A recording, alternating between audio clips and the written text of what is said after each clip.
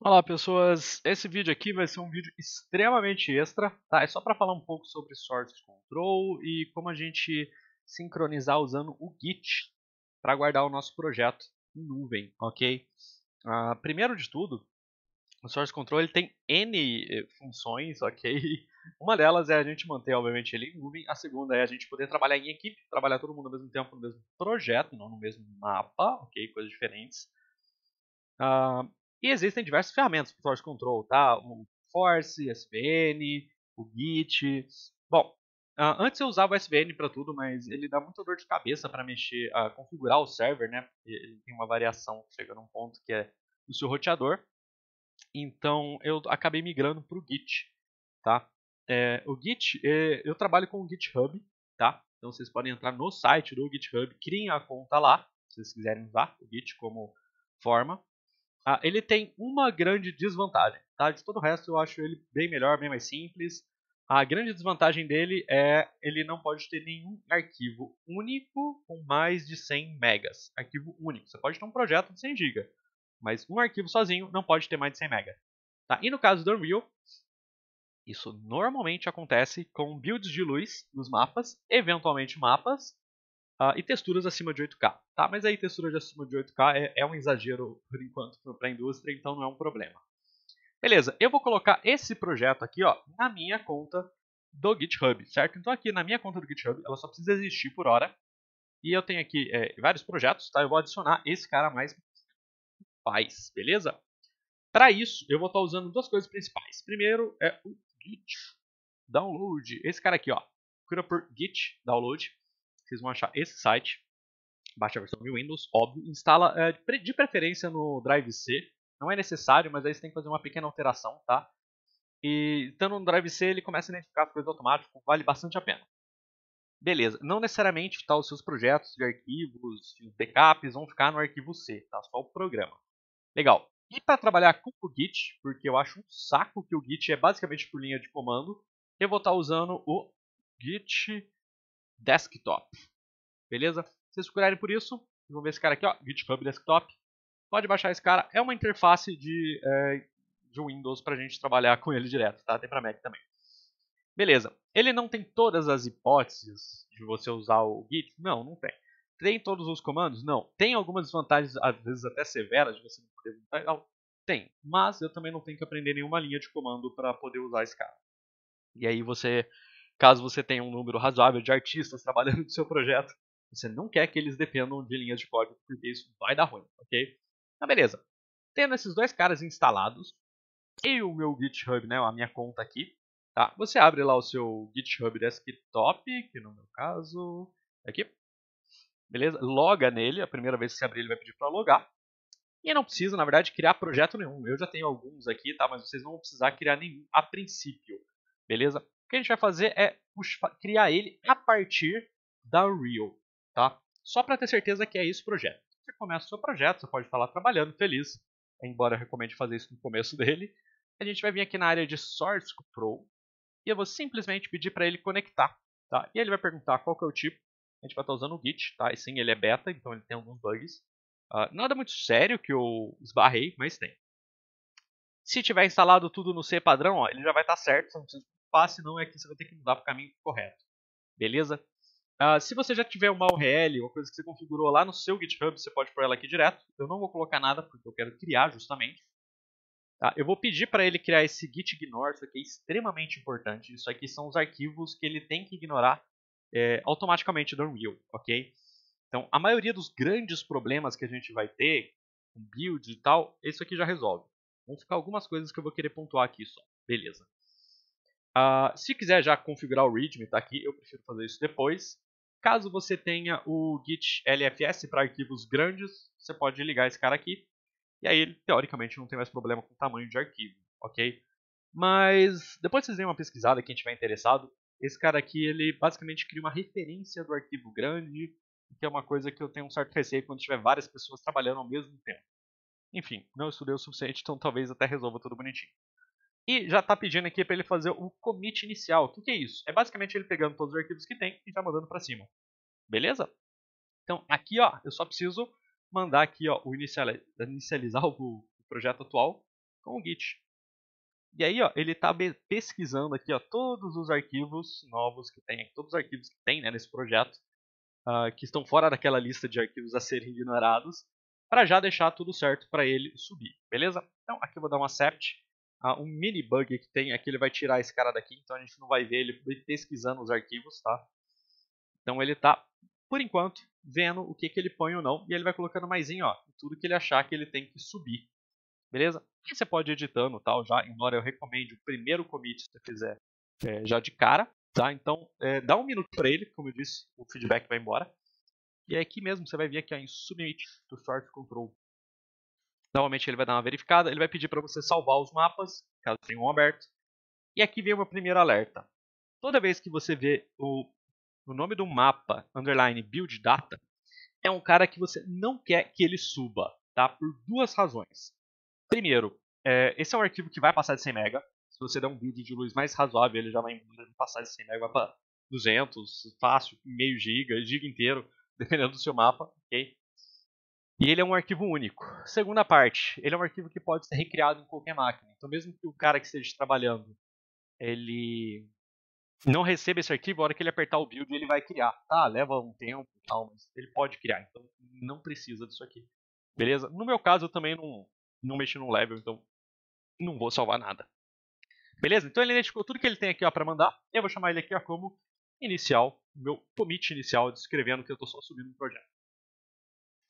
Bom, ele vai validar, vai checar, vai pensar a respeito e ele já está resolvendo tudo sozinho. Parte da graça de usar o Git é justamente que ele resolve a maior parte sozinho, você não precisa ficar coordenando. E ele colocou aqui como um commit. Se a gente abrir aqui a nosso GitHub agora, tá? Ele não, ele não identificou ainda. Atualização de outra pessoa aqui. Uh, deixa eu fechar e abrir aqui meu GitHub só para ver se ele se ele pega. Senão a gente força ele. Não, não, não, não entendeu, como deu para ver aqui. Beleza? Então eu vou falar para ele, legal. Agora que você tem esse cara aqui, ó, eu quero controlar esse projeto que está aqui no meu fundo por esse aplicativo. Beleza? Deixar os dois abertos aqui e não ficar chacoalhando as coisas. Como que eu vou fazer isso? Eu vou vir aqui em repositórios, tá? Poderia vir aqui também.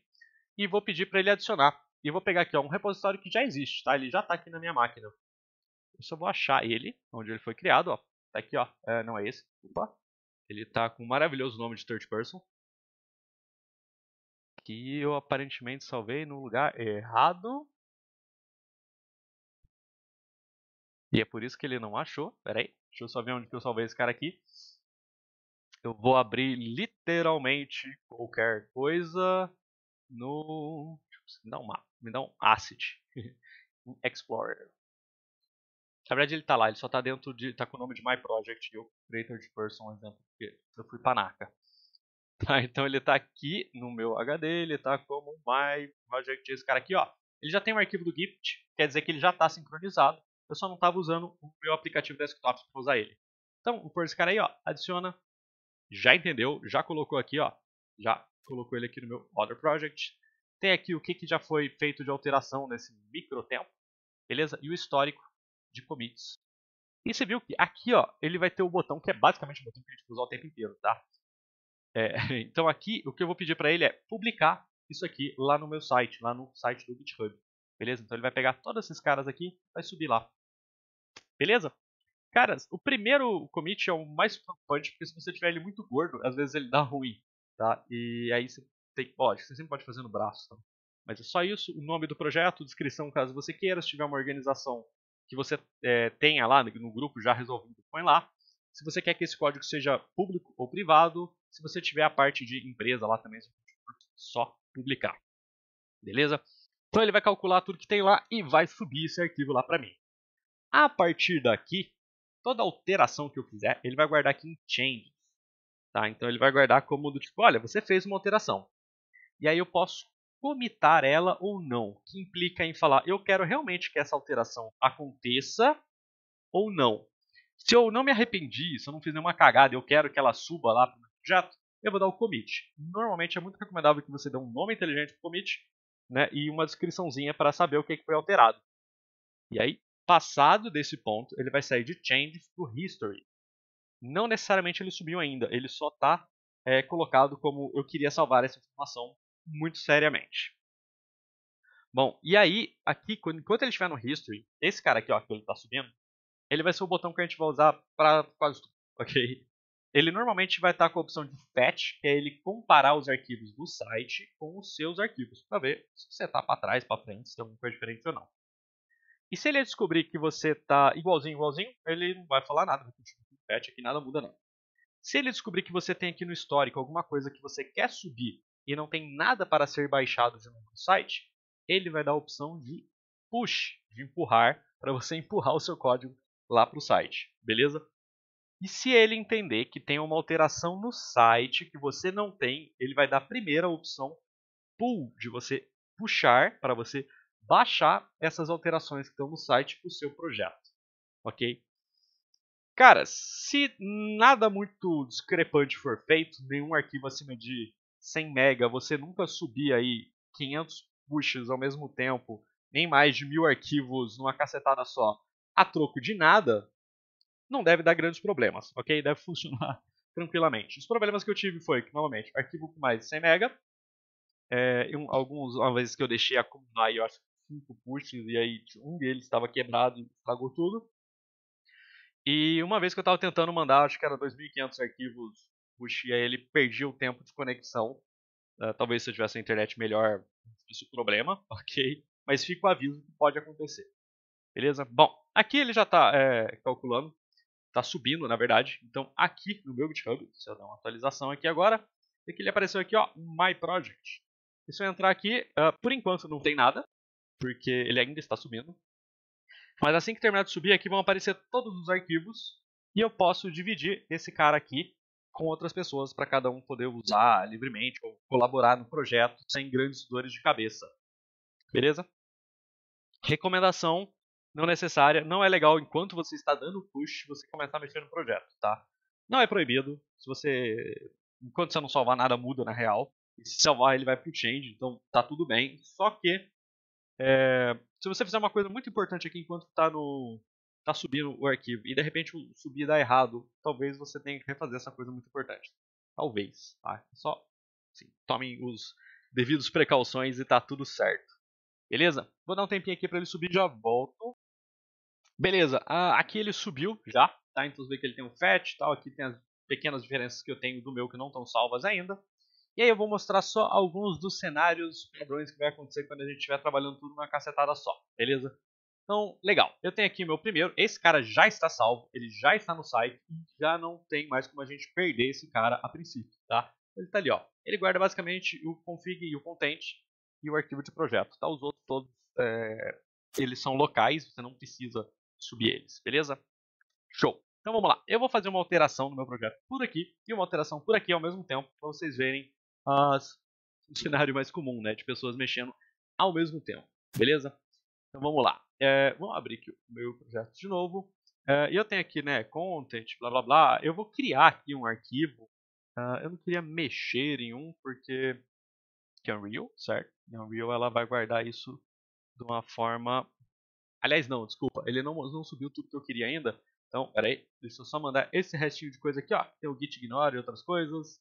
Tá? Só dá, como eu falei, nome, descrição, quanto mais inteligente, menos dor de cabeça você tem. Beleza? Então ele está subindo essas pequenas coisitas. E show. Enquanto ele faz isso, eu vou fazer uma alteração aqui super simples, tá? Vamos ver aqui um carinha. Vou salvar, tá? Não estou salvando o build data. Pode, puder salvar aqui no meu computador, só não subiria ele. Aliás, vamos fazer isso até para mostrar para vocês uma pequena coisinha que pode dar de errado. Tá? Eu vou dar um save all, vou pedir para ele salvar o build data também. Como eu disse, o build data é um arquivo que comumente vai passar de 100 MB. Tá? Então, quando a gente estiver agora no nosso GitHub, vê que ele tem o um mapa e o build data. Eu não quero que ele mexa no build data, não quero que ele suba esse tempo, porque, como eu falei, pode dar ruim. É muito, eu poderia só desligar aqui, estaria certo. Então, quando eu der o commit, seria o mesmo cara que eu apertar aqui, beleza? Ele estaria correto. Só que eu não quero correr o risco desse cara ficar acontecendo. Então, eu vou com o botão direito adicionar esse arquivo à lista de arquivos a serem ignorados. Isso vai me salvar para sempre? Não, porque até que se eu mudar o nome do mapa, qualquer coisa não serve. Mas isso aqui já elimina, sei lá, parte do, da chance do erro, ok? Então, beleza, vou subir esse cara aqui, só que eu vou uh, comitar esse cara e aqui no nosso projeto eu vou mudar o nosso git ignore. Eu vou adicionar como se fosse algum outro arquivo aqui. Beleza? Então você pode ver que ele tem um, um, um jeitinho bem de boa até na verdade de mexer, né? Ele tem pastas, né, arquivos específicos. Então eu vou colocar aqui uh, como se eu estivesse inventando um tipo de arquivo aqui, whatever, beleza? Então eu vou pôr aqui uma pasta de, sei lá, plugins, caso eu não quisesse que a pasta de plugins subisse junto. Beleza? Então, ah, beleza, comita, é só um arquivo de texto, fiz aqui pelo site zero problemas. Legal. E esse cara já está comitado, e como ele já está no site, eu não preciso colocar ele lá, né? Ele já está aqui, ó, no meu, já está certo. Só que, como a gente pode olhar aqui agora, no nosso Git desktop, né? Se eu virar e falar, ah, legal, eu fiz uma alteração, o site tem uma alteração, se eu der o push, ele vai falar, opa, opa, opa, peraí, tem alguma alteração lá em cima. Então, peraí, deixa eu ver o que, que tem diferente para ver se não mexeram no mesmo arquivo e tal. E esse aí que aparece agora o pull, que é para baixar aquela alteração que eu tenho, e subir a alteração que eu fiz numa cacertadinha só, beleza? Então, primeiro ele baixa sempre, depois ele sobe. Aí ele vai falar, cara, conflitou, porque eu tenho uh, um arquivo, você tem o mesmo arquivo aqui, né, que você está modificando, que você está modificando lá em cima, ok? E aí a gente tem algumas opções. A gente pode abrir isso aqui e mexer nele, beleza? Ou eu posso uh, resolver esse conflito é, dando um merge nos arquivos, quando é possível. Na maioria dos arquivos da Unreal isso não é possível porque ele é binário, ok? Uh, eu posso abrir esse cara em command line aqui, beleza? Tem algumas pequenas opções, ok? Uh, ou então você pode vir aqui na setinha e falar, cara, beleza, você vai usar o cara que está ali no, no arquivo master ou no origin master, que é o cara que está lá online, ok? Então você vai escolher se está usando a sua versão ou a versão é, online, e, enfim, e aí ele que se vira, beleza? Normalmente isso aqui você perde uma das, das versões, no meu caso, é, nos dois casos estão vazia aqui para mim, tá? Então, beleza. Ok? Então a gente já pegou aqui como baixar os arquivos novos, como subir, como resolver pequenos conflitos. Eu sei que conflitos grandes vão simplesmente estragar o projeto, tá? Ou no sentido de você vai ter que jogar o trabalho de alguém fora. Mas isso aqui já resolve muita coisa, muito problema. E se seu amiguinho mexer em algum arquivo, ele vai aparecer aqui uh, que ele foi mexido e vai ficar um simplesinho. Enfim, e você vai evitando um monte de pequenas dores de cabeça. Beleza, eu só queria, como eu disse, mostrar para vocês como usar o Git da maneira mais simples possível.